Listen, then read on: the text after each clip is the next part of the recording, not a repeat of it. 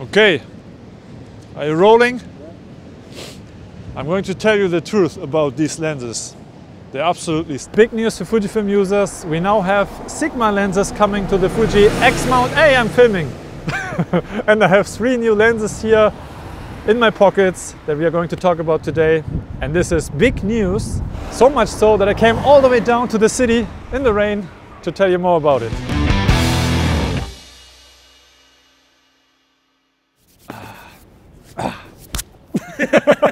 okay. Hi everyone, Sam here, welcome back to another video and let me show you these secret lenses that no one has seen yet except Canon users and Sony users and Panasonic users. Uh, the first one is the 30mm 1.4 then we have the 60mm 1.4 and the last one is is 56 1.4. So these are three of the contemporary line from Sigma which are, as I said, already out for other mounts, but now they're available for Fuji. And Sigma hasn't really released any lenses for Fujifilm yet. And us Fujifilm users, we, we don't really have that many options. Yeah, we have the Chinese options, Samyang, Viltrox, and all of that, but Sigma, you know, if I can have a Sigma or a Samyang, I think I will prefer Sigma not to sound like a Sigma salesperson. Little disclaimer here, obviously Sigma sent me these lenses to review, but they don't get to see this video before it's out and whatever I say in this video is my own personal opinion. So today I'm going to test these lenses here in the city of Hamburg, in the real world, in the outside world, and not in a photo lab, because optically we already know what to expect, because these lenses already exist and there are a bunch of reviews online. But I want to see how this performs on a Fujifilm camera in terms of autofocus and how it looks on a Fujifilm camera as well because you know these look kind of like Sony lenses. I'm also going to test them for video, do some vlogging tests on the 60mm. But before we do that, let's find a quieter place um, and discuss these lenses in more detail.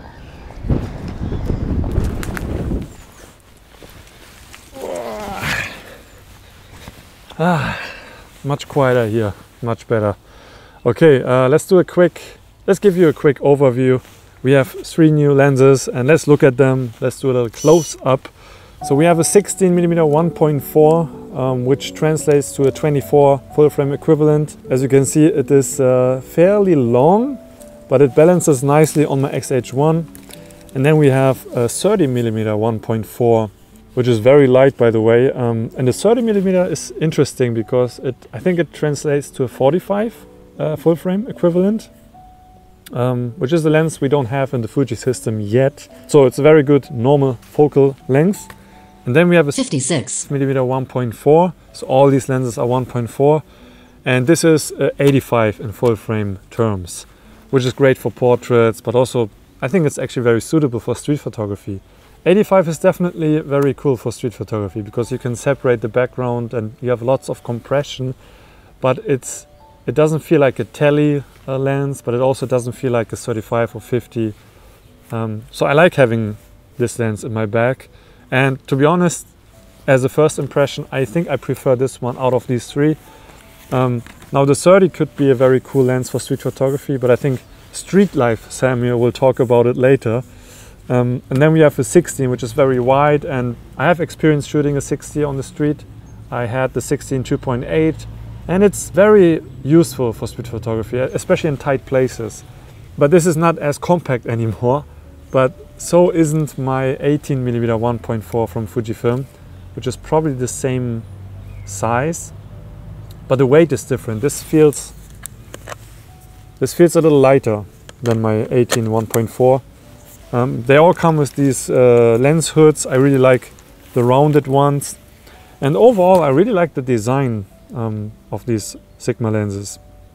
So these are lenses from the contemporary line, which are lenses that combine, you know, quality um, and lightweightness or compactness, and they offer a good price to value ratio. I don't know the prices yet, but they're probably going to be the same as they are already for the Sony and Canon or L-mount uh, system. So that makes them a very affordable option for Fujifilm users. And I would love to know how these compare to the Fujifilm equivalents. For example, we have the 56 1.2. I'm pointing on the wrong lens. So we have a 56 1.2 from Fujifilm. can't really talk about that lens because I've never used it. And then we have a 60 millimeter 1.4 from Fujifilm as well, which is kind of old by now, but it's still um, very highly regarded as a, as a good lens, as a good Fujifilm lens. Haven't used that one either, but I have, as I said, the 18 1.4, which cost us a thousand bucks and is amazing. And I have to say, I can already tell you this one doesn't compete with the 18 1.4 the Fujinon lens is just a little bit better. But for the price you pay here, this might be the better option. If you want me to read out uh, the spec sheet, I won't do that. Um, you can go to other reviews or go online. I'm more interested in the practical experience of using these lenses. So I'm going to go back to the city and we will do some street shooting and I will talk more about my experience using these lenses.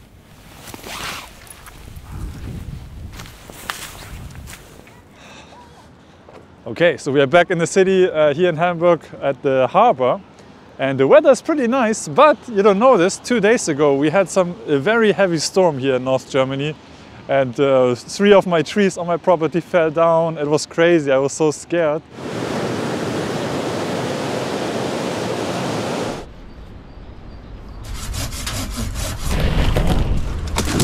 And also I couldn't get to the city today um, by train. I had to take a bus that took me more than an hour, but now I made it and I'm excited for the weather. It looks, it looks good. It, it's supposed to rain later, so we better hurry. But um, yeah, I'm going to test these lenses now, finally, and we're going to take some pictures. okay, so first lens I'm going to try is the 56 millimeter 1.4, not the 65 millimeter 1.4, which I said in the beginning. Optically, uh, just from the design aspect, I think it's the favorite of the three, for me personally. I like how it looks on the XS10. I'm talking too much, let's take some pictures.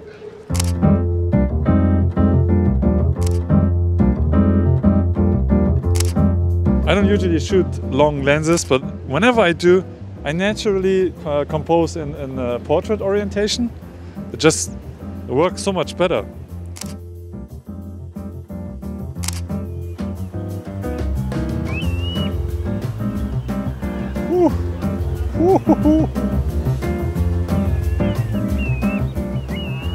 Hey, du bist in meinem Bild. Geh raus aus meinem Kunstwerk. Oh, also kein Screen. Isn't it nice? It started raining. but luckily these lenses are uh, partly weather sealed. I think I don't think they are sealed, but the mount is sealed. So at least there's no rain coming into the sensor. But it would be nice to have a weather sealed lens. Oh shit. oh shit.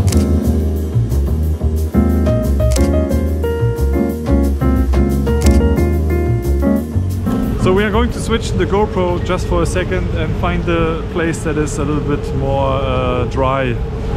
Oh shit, my GoPro is getting wet. Isn't it waterproof? Oh yeah, but it's new, so I'm, I'm babying it. Okay, here's my first initial impression. Uh, the 56 1.4 is a lot of fun. 85 millimeter is uh, very cool. I'm not used to it, but it's very nice. And you get nice separation uh, in the background.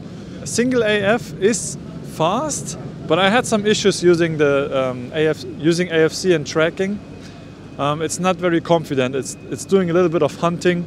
So now I'm using back button focusing to focus and then recompose. And that seems to do the best job. And I will show you I will show you the autofocus speed here. So wait. So we're focusing on the background, non bellow.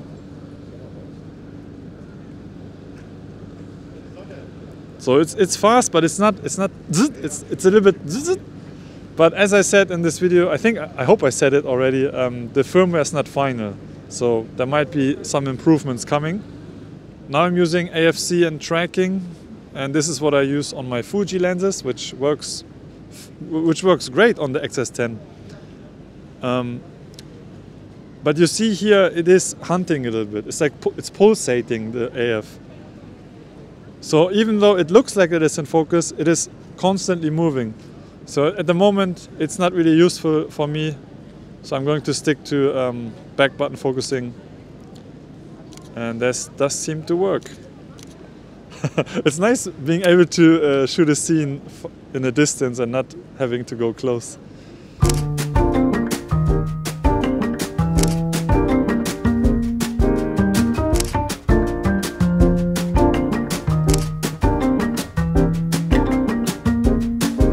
Now I'm on the 30 millimeter 1.4. 30 is 45 in full frame terms. So I should be very comfortable using this for street photography. It's also the lightest lens out of these three, um, but it's a little longer than the 56. The 56, by the way, uh, Bello is filming on the 56 right now, and he filmed on the 60 millimeter before this shot. So, but now he's on the telly, um, so you can see how that looks for video. Let's go.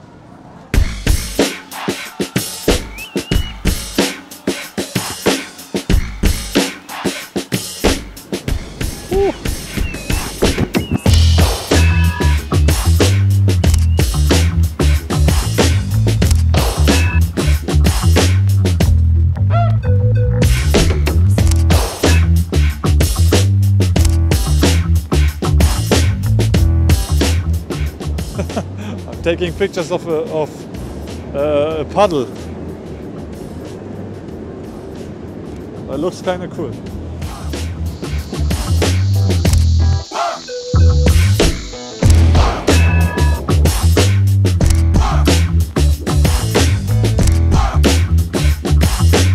So here are my impressions on the 30mm 1.4. Um, I think it's a great focal length for street photography. You don't need to go super close but you still get a sense of intimacy. I had some difficulties uh, finding some interesting scenes and I'm really rushing through this section here of the video because it's so cold and I can't really feel my fingers. But I think it showed what you can do with this lens. Now I already know that it is a little bit soft, wide open, a 1.4, but at 2.8 it is uh, very sharp.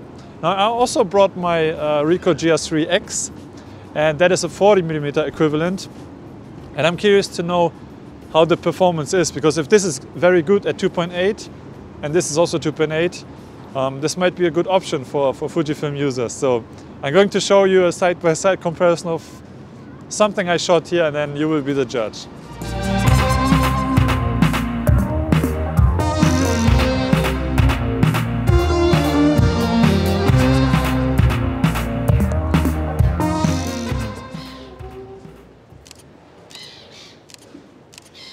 Sorry, I got distracted. Oh, I have the wrong lens on my camera. It was too wide. so I'm on the 60 1.4 right now. This is the last lens that we are going to test today. Uh, it's also the longest, as you can see. It's also very heavy compared to the other Sigma lenses, but I, I still think it's compact enough um, because I'm used to using my 18 1.4 from Fujifilm. That is uh, a little bit shorter than this one. And I did a little comparison uh, at home. Maybe I show it here.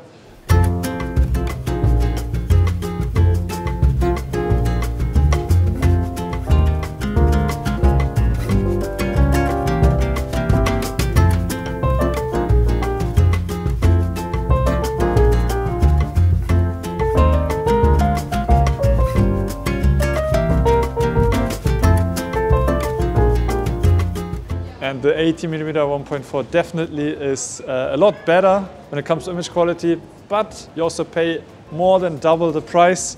So this can still be a good alternative. This is a 24 equivalent, not my favorite focal length, I prefer 28. But um, for crowded places, this could be uh, perfect. So let's take some pictures, wide open, even though it's sunny. And also, uh, of course, I will close down the aperture so you get a sense of the image quality.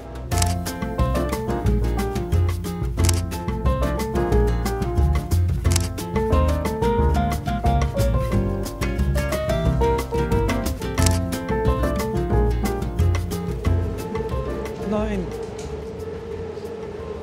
Scheiße, mein, my, my battery died. Shit.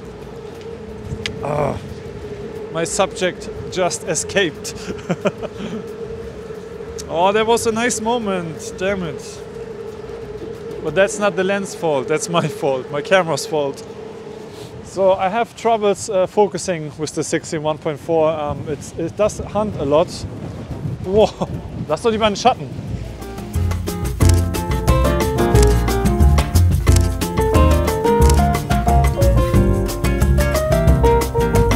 Wow, what a master, masterpiece. I will name this masterpiece the empty composition. oh, I, don't, I, I just realized I really don't like 24 millimeter. I see you. I can see you, you stalker. Stop stalking me. So we are taking a little coffee break now, and I think we are done today. Um, it felt very rushed, and I'm sure I didn't get any good pictures, but hopefully it gives Me neither, I'm sorry. hopefully uh, it gives you some ideas of uh, what you can expect using these lenses. Now I'm going to go home, look at the files, and then uh, I will tell you more about my thoughts once I'm back home. Sigma. I just realized I forgot to test uh, the lenses for video, so we're going to do some video tests here with Bello at this spot. Hello. Oh, beautiful. Beautiful. Look at these. Look at these. Mm.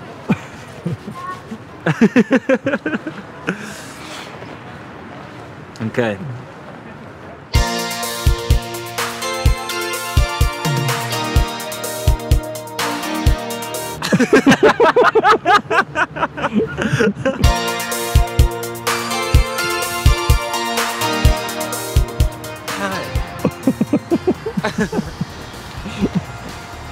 Ey, geh mal normal. Was? Komm mal normal, nur normal, weil du bist zu schnell und das ist zu schwierig. okay.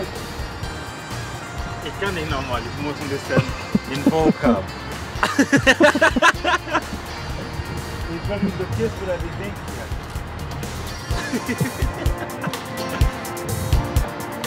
Ja, reicht schon.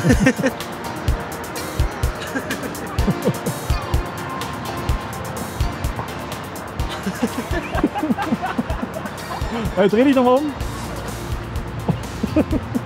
Geh wieder weg.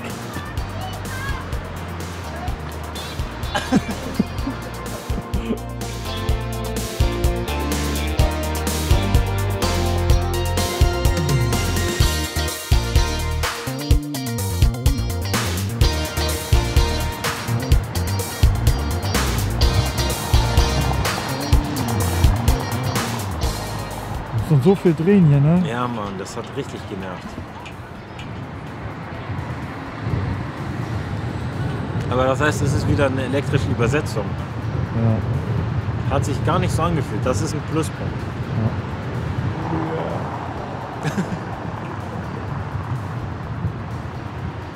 Oh.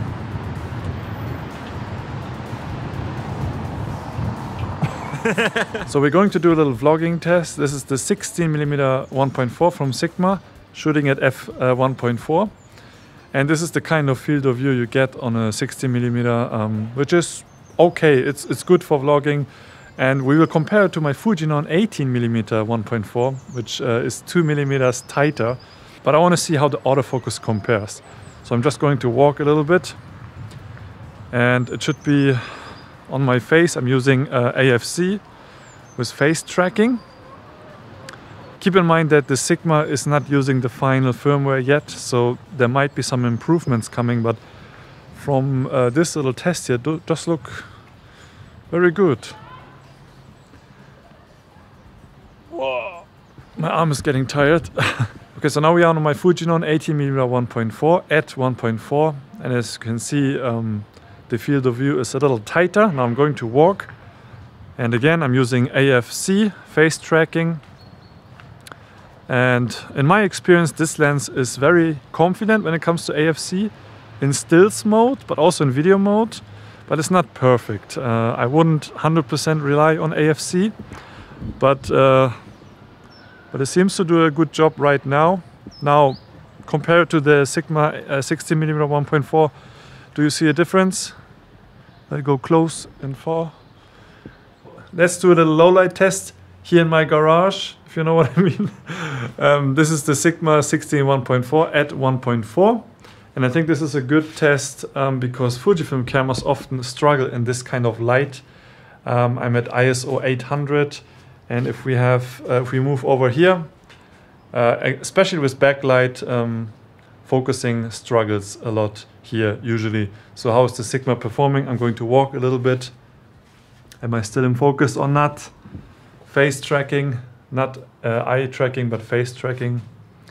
Okay, let's switch to the Fujinon. And now we are on the Fujinon 80mm 1.4. And I don't know if I started here, but let's just move a little bit. This is me against some backlight. Let's walk. And this is 18 millimeters, so it's a little tighter. Um, how's the autofocus performing? Should be good. Looks good so far.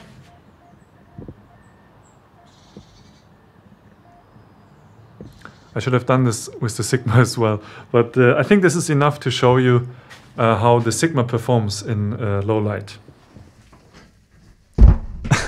okay, I'm back home and I had some time looking at my files now and I spent around a week uh, using these Sigma lenses. I'm filming on the 16 1.4 at the moment, by the way, at 1.4. And I think uh, this is a nice look for, for streaming. Uh, you could use it for your Zoom calls and I've used it on one one Zoom call, and I got some uh, compliments. So it does work well for for streaming and this kind of stuff. So obviously, this video wasn't wasn't really a deep dive into these lenses. It was more of a first look. Um, because there is no point talking about them optically if there are already reviews out there and these lenses have been out for a few years already for other mounts. But I wanted to show you how they look like on, on Fuji cameras and also how, how they feel and how they operate. So I'm going to talk a little bit about my experience. Um, I had a good time uh, at the harbor using these lenses, even though it was raining uh, very strongly sometimes. And uh, let's talk about the non-existence of weather sealing. Now I'm still not 100% sure if they're weather sealed or not, but my guess is they are not sealed, only the mount is but they are still working fine and uh, they got very wet, especially this one here, the 56 1.4. And they didn't clean the, the lens element, the front element, and they look fine. They look like new. So they must have some good coatings. and I think these lenses fit very well on the XH1 or XS10. Um, I can't show you how they look on an X Pro body or something like that, but my guess would be that it still would work. Of course, we don't have an aperture ring, which is very Fuji, uh, typical for Fujifilm lenses. Did I miss an aperture ring? Sometimes, but I'm I'm so used to using the front and back dial, um, so it's not a big deal. But that is something you need to take into into consideration, um, because most Fujifilm lenses, I don't have one here at the moment, have aperture rings. There's also no switch. There's no switch for autofocus and manifocus, but most Fujifilm cameras um, have these um, autofocus uh, switches on the body. Uh, I'm, a, I'm a little disappointed when it comes to autofocus, I have to say. Although I've been told that they're going to improve it. And um, so there wasn't really a point of showing you the autofocus performance because it, it, it will probably change. How much it will change, I don't know. I hope, I sincerely hope, uh, Sigma, if you're watching, that you um, work on on the autofocus, especially in continuous mode. And when tracking subjects, the AF was uh, hunting a lot and I missed a few shots because of that. So it's not really something I would use at the moment. They do work uh, very well sometimes, but as you saw in some of my outside examples, um, they hunt a lot, especially the 60 millimeter. That one is really emotional. I don't know how to say it. It's not really um, confident. And the other lenses, the 30 millimeter, it's, it's very good for autofocusing, and the 56 as well. A little slow, but um, at least uh, it's it's not hunting a lot. Now I have to talk a little bit about image quality as well because most of you who are watching are probably not familiar with these lenses. If you're a Fujifilm user, then you probably never considered Sigma lenses. From what I saw on my images that I took on that day uh, at the harbor, I'm satisfied. The quality was okay, but because I think the, the focusing was also sometimes not hitting, um, I got some blurry images. Uh, when the focus uh, was perfect, then um, the sharpness was pretty decent. corner sharpness seems to be okay. Now I didn't really do that much pixel peeping. Um, by the way, if you want to see uh, the full RAW files or if you want to download them, uh, they will be available for my channel members. So if you are a member, look out for the community post for that. Um, so you can download these files and play with them. Sharpness is decent, um, but in my experience, it, I need to stop down the aperture at least to 2.8 or f4. But even then, sometimes at f8, I wasn't 100% happy, but don't take it uh, take it with a grain of salt because I don't use my Fujifilm cameras for stills. But I think for people who are considering one of the 1.4 aperture Fujinon lenses, um, if image quality is your top priority, I, I still would recommend going for native lenses. But if you mainly do street photography and the occasional low light shot here and there, then um, these are totally fine and um, it will be hard to differentiate them just based on um, let's say a print. Of course, if you do pixel peeping, you can see the differences. And when we look at the price, um, around 400 uh, euro for, for these lenses, uh, these are not a bad idea. Um, if you can live without having the Fujifilm look, um, because these lenses don't really look like Fujifilm lenses, but it's kind of refreshing. And uh, personally, I I think they look very good on on at least my Fujifilm cameras. Yeah, I don't know what else to say. I think we have to wait until these lenses are out and get the final firmware uh, in order to judge them for their performances. Um, but this is so far what I experienced. And would I buy one of these for myself? Um, it's it really hard. It's really hard for me to dis- to decide between these three. Uh, I would probably get the 56 uh, 1.4 just because I don't have a 85 equivalent in my bag yet and it was quite fun um, shooting this focal length on the street. But also, I think the 16 millimeter is, is fun for video. The 30 millimeter, um, I would definitely consider for, for something like street photography or documentary photography. And I took a bunch of photos of my son uh, that I quite liked. Um, it has a little bit of a soft um, quality at 1.4, uh, but it gets a lot sharper once you stop it down. But I was surprised uh, when I compared it to my G, uh, uh, GR3X how how good the GR3X is. No, it's not a commercial for Ricoh cameras. Uh, I have to be careful because commenters will say I'm biased again. Um, okay, so that's basically it. I hope you enjoyed this video. Let me know in the comment section if you have any questions. Maybe I can answer them. Maybe I didn't answer some of your questions in the video. Uh, let me know. See you in the next video very soon. Make sure to like and subscribe and all of that, all of that shit. See you later. Bye bye. Ja, hallo, also ich bin jetzt hier in Hamburg und ja, das Wetter ist echt scheiße. Egal, Sigma! nice, it started raining. Uh, luckily these lenses are weather sealed. No, wait, they are not. I think uh, the, the, the, the ja, nochmal. Okay, kleinen Wichser hier. so the ship just arrived and people are going to uh, board, on board alles scheiß drauf, wir filmen jetzt. But I will mix it up a little bit, show you some wide open shots, but also some closed, closed open. Fuji ist einfach scheiße. Muss man einfach mal sagen. Hast natürlich schön alles aufgenommen, ne? Den, den Fuji Rand. Ey, geh mal kurz nach hinten.